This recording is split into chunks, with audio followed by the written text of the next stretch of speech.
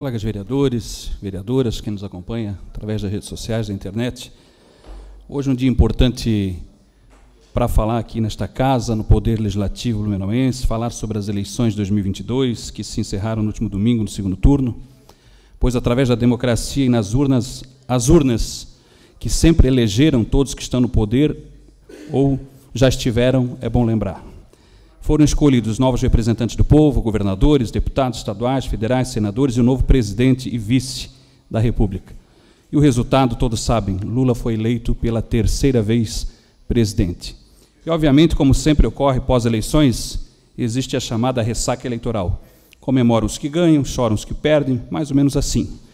Infelizmente, diferente de outros tempos, os ânimos estiveram muito exaltados Vimos muitas coisas tristes nos últimos anos: intolerância à flor da pele, preconceito, xenofobia, brigas, discussões, amizades desfeitas, relacionamentos desfeitos, intrigas entre família, amigos, colegas de trabalho e o pior, muita violência, inclusive com vidas ceifadas, tiradas por um ser de esquerda, outro ser de direita, onde devia prevalecer o respeito à democracia, o amor ao próximo, enfim. É natural as piadinhas, as pegação, pegação no pé, algumas provocações, até apostas tiveram. E tem os memes, tem as figurinhas, tem de tudo. Mas não pode passar disso. Infelizmente passa. Pós-eleições, novos bloqueios no WhatsApp, nas redes sociais, um deixando de seguir aqui, outro ali, enfim. Mas o pior nem é isso. É o que estamos vendo acontecer através das manifestações de uma pequena parcela que não aceita o resultado das eleições, que está fechando ruas, rodovias, prejudicando a economia, sem pauta alguma de reivindicação que se justifique, a não ser que não aceita o resultado das urnas, como foi uma pequena parcela lá nos Estados Unidos também, tempos atrás. Inclusive, temos visto é, chamados para manifestação em pleno dia de finados. Esperamos que a ordem seja restabelecida, pois o comércio tem sido prejudicado, transporte público, os trabalhadores, empresas, escolas, saúde pública, o direito de ir e vir. Isso sem contar com alguns atos de depredações, violência, agressões físicas. Temos visto nas redes, inclusive, a todo momento. Eu, inclusive, vim com essa camisa vermelha, por exemplo, né, que podia ser uma do PT, inclusive, ou do meu time de futebol preferido, por exemplo, é um direito meu. Né? Podia trocar essa, e aqui tem uma verde e amarelo, está aqui, Sr. Mindo. É, podia colocar essa aqui, que é verde e amarelo. Olha aqui, ó. podia usar essa, essa aqui, podia usar essa camisa aqui, que é verde e amarelo. Né? É, que também é da seleção, é da cor da nossa bandeira. Aliás, a nossa bandeira. Está aqui, ó bandeira do Brasil. Essa bandeira aqui, ó, ela não é de um político, não é de um político. Ela é de todos nós, essa bandeira aqui. A bandeira do Brasil é de todos nós brasileiros. Está aqui, ó, com muito orgulho.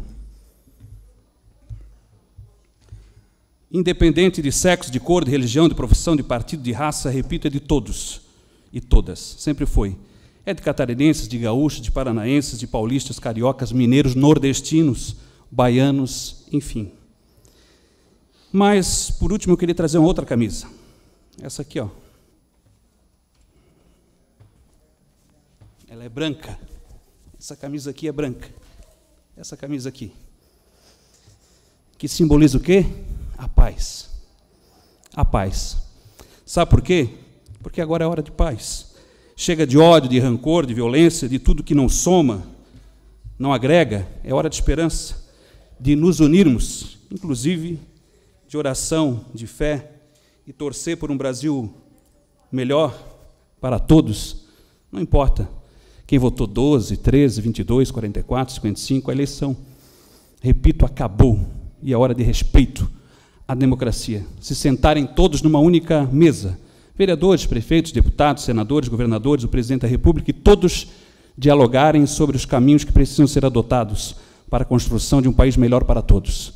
Dialogar sobre os investimentos necessários, as obras, as políticas públicas, a inclusão social, a saúde, a educação, a segurança pública, a habitação, assistência social, infraestrutura, turismo, economia, geração de emprego e renda e por aí vai. Que possamos deixar no passado esse tempo onde tantas coisas tristes vimos, atentados à democracia, indústria de fake news e injustiças. Não podia deixar de cumprimentar aqui também a nossa deputada federal eleita, Ana Paula Lima, que obteve uma votação super expressiva, e também o nosso candidato a governador, ex-vereador, ex-prefeito tribunal, ex-deputado federal, por sua resiliência, resistência, sua força, sua garra, sua caminhada nestas eleições.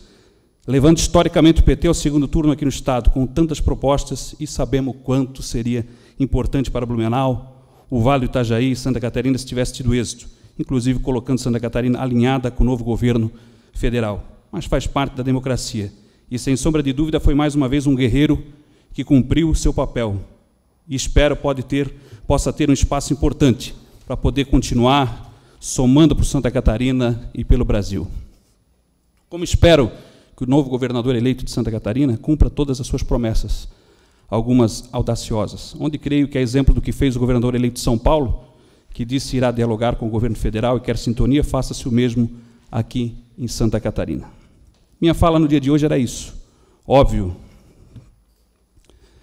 repleta de alegria, de felicidade com o resultado, sem sombra de dúvida, pois sabemos o quanto passamos até aqui, o quanto sofremos, quanto fomos pisados, massacrados, humilhados, ofendidos, julgados, quantos ataques injustos, cruéis, quantas generalizações, quanto preconceito, e só fortes resistem, só fortes resistem. Agora é olhar para frente, sem mágoas, rancor, com fé, com amor, com republicanismo, com democracia acima de tudo. Com respeito às instituições, à Constituição e, principalmente, uns aos outros. Com Deus nos iluminando, a cada um de nós dando o seu melhor aqui ou onde estiver, sempre com um só objetivo: ajudar na construção de um mundo melhor para todos, mais fraterno, mais digno, sem fome, sem miséria, com menos desigualdade e injustiças sociais. Por isso que eu digo: viva o Brasil, Viva o povo brasileiro e viva a democracia. Concedo a parte. Com autorização do orador, a parte concedida ao vereador Gisele. Obrigada, presidente. Bom, lindas palavras, vereador, eu vim aqui da parte para parabenizar né, o novo presidente eleito, assim como também o nosso governador, mas também para contribuir com a sua fala, que muito me entristece. Todo mundo tem direito da sua manifestação e ela é fidedigna, ela é constitucional. Só que quando a gente tem pessoas que impedem o direito de ir e vir, como nós tivemos o direito do paradesporto, sem poder embarcar para uma competição segunda de manhã para Curitiba, tivemos que retornar e os nossos paratletas dependem desse índice no meeting do Comitê Paralímpico Brasileiro no regional para garantir o seu Bolsa Atleta Federal. Isso não é justo. Então eu não poderia, vereador, deixar de dizer que o paradesporto hoje está triste, presidente Egídio, você que é do esporte, porque não pôde embarcar. Então, com certeza, suas palavras, vereador, é momento de paz, é momento de realmente a gente ter a democracia e a verdadeira liberdade. Então, parabéns pelas palavras e deixo aqui meus parabéns ao presidente Lula eleito. Obrigado, vereadora Gisele. Acrescento ao meu pronunciamento. E é isso. Eu queria encerrar né, dessa forma, né, lamentando realmente o que a gente tem visto aí. Há pouco vimos aí um repórter de um veículo de comunicação sendo é, agredido, vimos um motoqueiro sendo derrubado, vimos, estamos vendo situações lamentáveis, né, depredações, várias situações aí, né, que realmente não somam, não tem uma pauta justificável alguma, apenas né, a, a pauta antidemocracia. E isso não vai levar a lugar nenhum. Esperamos que né, a, seja restabelecida a normalidade. Infelizmente, as forças de segurança terão que adotar os métodos legais para isso, né, as instituições que estão aí para servir e fazer a segurança, né, porque precisamos voltar à normalidade. Né, temos, estamos tendo prejuízos graves aí na saúde, cirurgias sendo canceladas, pessoas aí correndo risco de vida, temos várias situações lamentáveis, né, transporte público, escolas, empresas, comércio, né, é, é os mais diversos setores sendo prejudicados. Né, e realmente fica, fica difícil.